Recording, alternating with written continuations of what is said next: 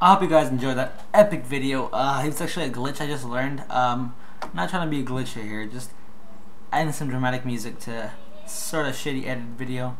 I hope you guys liked it. Uh, like it, leave a comment, favorite, subscribe.